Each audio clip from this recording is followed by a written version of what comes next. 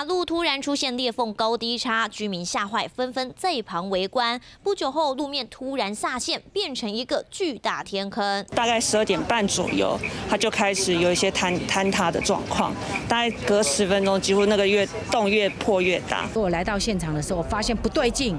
很明显，用肉眼看到那个地面的坡度是持续持续往下。那十四户的部分，我们请大家撤离哈。警消人员立刻疏散附近住户。天坑位置就在台北大同区赤峰街，路面凹陷三米深。北市府新工处人员立刻到场了解。